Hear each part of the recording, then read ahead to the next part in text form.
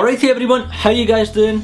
Before I start, disclaimer, in this video I'm not going to show you or give you a tutorial on how you upgrade or put an SSD in your iMac, so if you're looking for that, you're in the wrong place.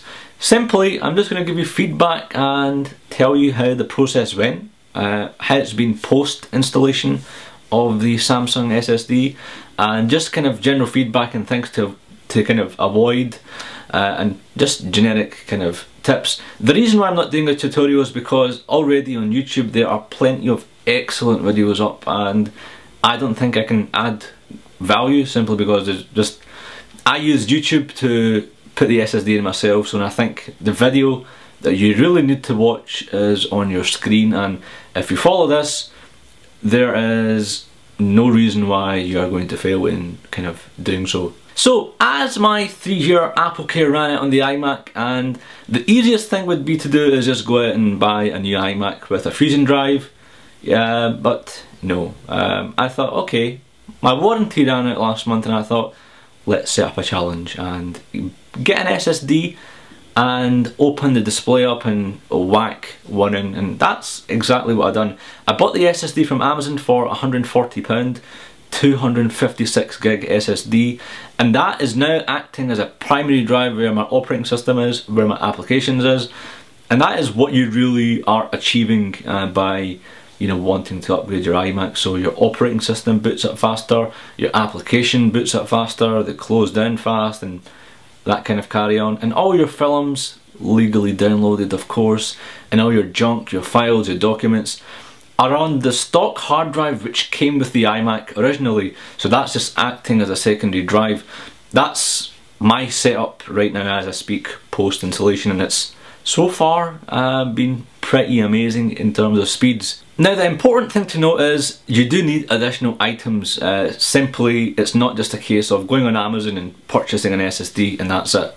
Uh, you do need uh, some additional kit which is relatively cheap and eBay uh, is kind of my go-to place and this is where I got it from anyway. So I'll leave the links in the description.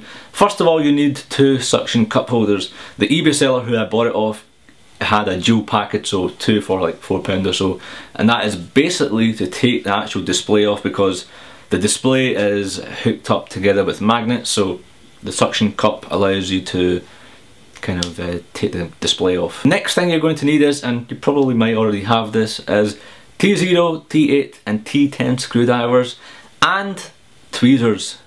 Trust me. Uh, tweezers you need because the screws are small and there's a lot of magnets inside so it is kind of annoying sometimes when you're taking a screw out the screw actually just goes straight towards the magnet and tweezers just makes the process just so much more less frustrating uh, so I would recommend tweezers.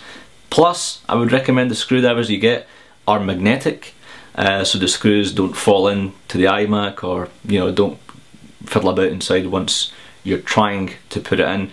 I'd also recommend some sellotape or some black tape to put over the magnets inside the iMac while you're putting the screw in. This kind of makes the magnets less strong if that makes sense. Um, and although this wasn't in any of the guides, this is something that I just kind of thought on the spot because I was getting a bit frustrated with trying to put the screws in uh, and the iMac magnets were so strong. Literally when you would put the screw beside it or trying to put the screw beside it it would just go all over the place. So I would recommend some black tape, some strong tape that would go over the magnets temporarily while you put all the screws in. Next you need a SATA cable, relatively cheap on eBay, 99 pence you need a SATA Y power splitter. This is crucial. This is a cable that connects your stock Mac hard drive and your new SSD to the power supply on the motherboard. Uh, so for my setup it was crucial because I still wanted both drives to operate. If you're going to throw away or take out the old Mac hard drive for some odd reason, uh, then you won't need this, but you do need a SATA Y splitter. Next, you're going to need some Velcro. Um, Velcro or some sticky pads, and no, uh, I'm not joking. This is heavy duty stuff. This is probably the most I spent in terms of additional accessories. Uh, about £8 for this. Yeah, it's a 3M one. And the reason is, this goes onto your SSD plus the iMac. Now, when I was watching tutorials before putting this in, I was like, what happens if the hard drive just falls out of place, you know, a couple of months down the line? Uh, and I was a bit worried as to how well it would work, you know. Although it's heavy duty, surely the hard drive will or could somehow fall off and go out of place. The thing is that won't happen, uh, simply because the whole purpose of taking the display off is, you know, you bring the display forward and you take the logic board forward, you put the SSD in the back, then you move the board back so everything is kind of stuck together, uh, everything is in place so there's no chance of the hard drive to fall out. And if it does, it's going to stay in the same place anyway because it's so kind of crowded uh, and everything is just up against each other. The you know, back to back pretty much. So you could use Velcro or you could use some, you know, double-sided strong tape as was suggested on the tutorial video which I was watching, but I thought it'd just be a whole lot safer and easier to kind of, if I wanted down the line just to change the orientation or, you know, just, it just looked a bit more stronger I guess. Need some compressed air, found at your local supermarket or eBay or whatever. This is simply when you're putting everything back and the display is naked, you want to give it a good rub down, you know, because the moment you take this off, you just see dust going towards the screen uh, and it's annoying once you've put it on. This is probably the easiest thing in terms of the upgrade process, taking this off using the suction cups. I could literally just do it just now. So you can always kind of go back and forth and get the dust part to, you know, sorted, so don't worry about that. Um, but this is handy alongside a microfiber cloth and some solution to give your screen inside and outside a good wipe once you're finished. Then, once you've got all the parts, go ahead and dig into your iMac. Choose a day that you aren't going to be rushing to get your iMac back up and running. Choose a weekend maybe, take it easy.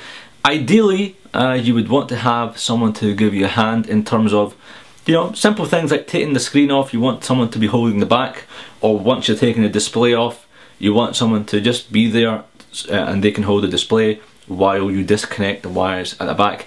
Everything is, trust me, relatively straightforward. If you follow the video steps, uh, you'll have a new drive in your iMac and you'll be getting beastly speeds, as you can see there. Uh, and here is a comparison of my old stock hard drive versus the new SSD and you can see the read and write speeds kind of speak for themselves uh, and this helps with multitasking, loading up your machine, loading up applications. If you have a MacBook Air 2010 and above, you know exactly what I'm referring to. It's amazing speeds and what, it was only £140, £150 versus going out and getting a whole new machine. Um, so it's kind of a no-brainer. Wanted to set myself a challenge. I wasn't going to do this video but a lot of you wanted to know what the speeds were like. Some of you have the same model um, and you wanted to know whether you should you go out and you know get it done. Yes is the answer. Uh, save a lot of money instead of getting a new one. Uh, SSD is going to add more life uh, and especially if you've ran out of Apple Care why not? Uh, give it a go and thank me later. I hope this video's helped and I hope I've answered all the questions. Um, I, I, made sure I had all the correct information and it's not rocket science. Uh, the video tutorial is pretty crystal clear as what you need to do. If you have any further questions, um, feel free to leave them in the comments below and I'll answer them. Uh, and if you haven't seen the previous video, um, I am running a meaty giveaway you wouldn't want to miss out on it, would you now? Thanks very much for watching, see you in the next video. Cheers!